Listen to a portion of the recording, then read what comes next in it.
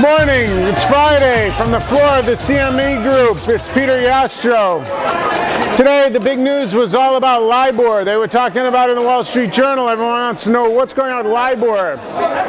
LIBOR is really Fed funds plus a spread. That's all it's ever been. It's always trading right near the Fed funds rate. The problem is right now everyone's worried that the interbank market could explode. We are very worried about it.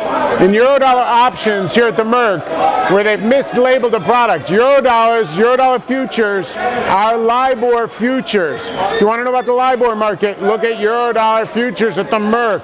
We trade hundreds of millions of these things. That's why the Merc is the biggest, the Chicago Mercantile Exchange then became the Chicago, uh, sorry, Chicago Group is now contains LIBOR futures, which are Eurodollar futures.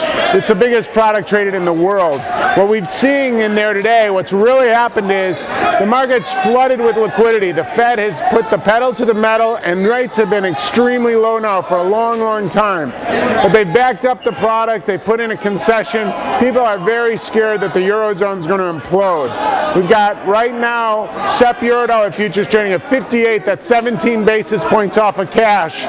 Normally at this point in the cycle for the last three, four quarters, we've only been eight or nine basis points off of cash. So we have put in quite a concession as everyone's worried about what's happening with the Eurozone. If anything were to happen in the Eurozone, all of these banks that lend to each other could cease lending to each other. But if that happens, we're not talking about the euro going up five basis points or eight basis points. We're talking about hundreds of basis points. You can see that reflected in our options. You can see that in the pricing of the options and the skew. There's a tremendous amount of fear built into the Eurodollar options market. But you have to look at the market properly to see it. Some of these people who are looking at it in a real um, simple and pedestrian way don't realize how much fear and how much risk premium is already built into this product. We are like long-tailed cats in a rocking chair factory over there. That's why I'm all out of breath.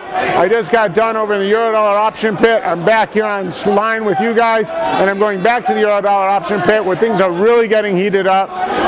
For more on this, watch, stick to the CME group and watch for Eurodollar futures.